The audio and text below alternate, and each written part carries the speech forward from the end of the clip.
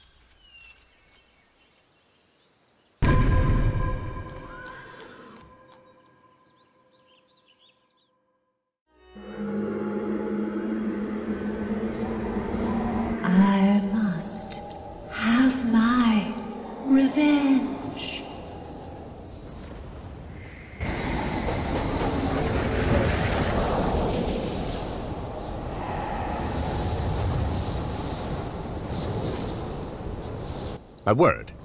What was that? Some manner of specter seems to have crossed our path. Perhaps the crash has done a number on my eyes.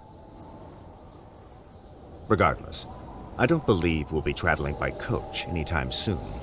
We'll have to venture forth on foot. Fortunately, the town is not far off. Let's clear this tree from the road and be on our way.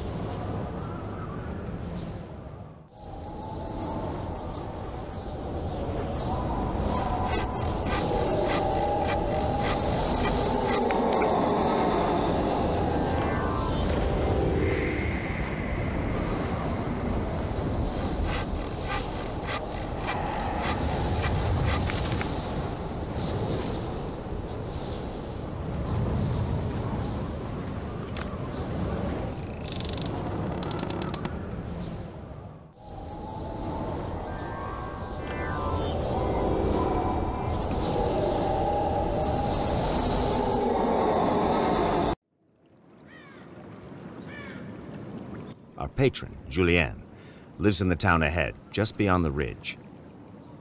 A man of low means and fond of literature, he fell in love with a woman of high society named Victorine Lafourcade. Madame Lafourcade reciprocated Julien's feelings, but due to her societal status, she was married to a wealthy banker whom she did not love, Monsieur Renelle Foray.